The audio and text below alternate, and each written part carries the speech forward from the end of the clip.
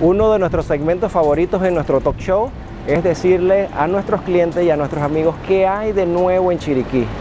En el día de hoy van a ver una tienda nueva que acaba de abrir, se llama Home and Art Furniture. Vamos a verla.